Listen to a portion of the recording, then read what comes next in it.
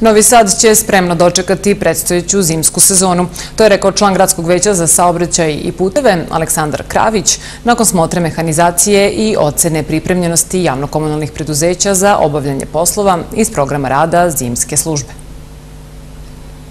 U okviru redovne smotre mehanizacije zimskih službi, članovi štaba zimske službe obišli su punktove javnokomunalnih preduzeća, gradsko zelenilo, čistoća, parking, servis i put.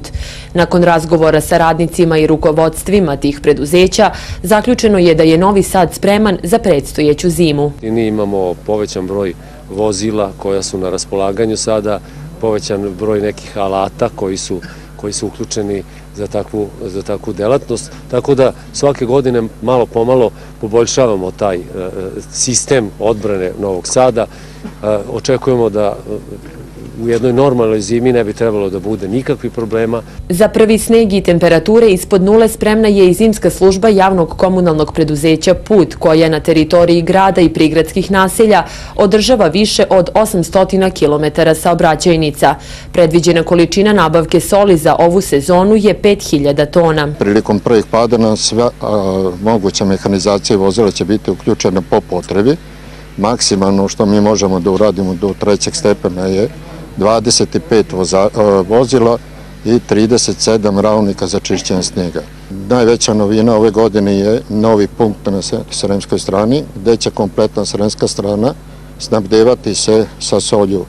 Tamo gde će biti ubrzano znači brže, kvalitetnije, efikasnija zimska služba u Sremu. U javnom komunalnom preduzeću Čistoća sva mehanizacija koja radi u okviru zimske službe je remontovana, a ljudstvo je opremljeno novim uniformama. JKP Čistoća je spremna za predstojeću zimsku sezonu. E, mehanizacija i ljudstvo je spremno. E, so je dopremljena, bit će postavljene ove kugle sa solju na velikim raskrsnicama u Novom Sadu.